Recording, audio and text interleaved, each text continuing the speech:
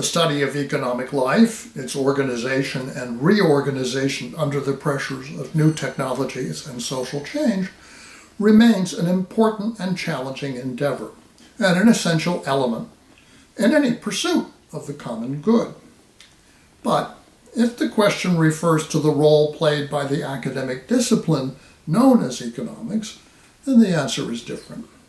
A training in academic economics, so far as I've observed over four decades of teaching, largely serves to inure young men and a few women uh, who plan to make careers in business and finance from thinking in any serious and critical way about the social framework within which their future careers will unfold. Economic students are notorious, for example, for an ability to frame moral and ethical arguments in self serving terms that students in other disciplines would abhor. This is undoubtedly useful preparation for careers, especially in such fields as finance, where aggressive, predatory, and opportunistic traits are widely admired and regarded as essential to success.